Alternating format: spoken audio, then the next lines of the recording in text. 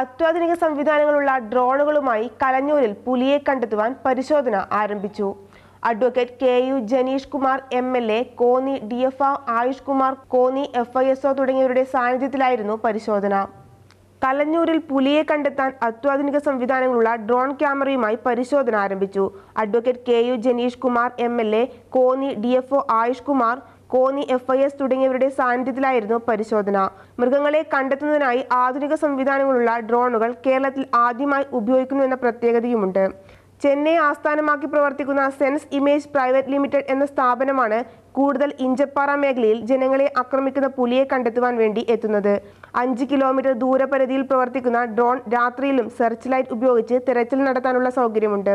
Thermal ക്യാമറയാണ് ഇതിനായി ഉപയോഗിക്കുന്നത്. സ്കൈകോപ്റ്റർ എ സിക്സ് ക്വാഡ് കോപ്റ്റർ എന്നീ രണ്ട് ഡ്രോണുകളും നാൽപ്പത് എക്സ് സൂം ക്യാമറയും തെർമൽ ക്യാമറയുമാണ് ഡ്രോണിൽ ഉപയോഗിക്കുന്നത്. മൃഗങ്ങളുടെ ചൂട് തിരിച്ചറിഞ്ഞ് കണ്ടെത്തുന്ന സംവിധാനം തെർമൽ ക്യാമറയിലുണ്ട് കല്യാൺ സോമൻ ഡയറക്ടറായിട്ടുള്ള ടീമിൽ അനിൽകുമാർ മച്ചാനി ശ്രീറാം ദാസ് ദിവ്യ സുന്ദർ എന്നിവരാണ് സംഘത്തിലുള്ളത്. ഞായറാഴ്ച ഉച്ച മുതൽ സംഘം വനപാലകരോടൊപ്പം പുലിക്കായി തിരച്ചിൽ നടത്തുകയാണ്. യൂടോക് പത്തനംതിട്ട.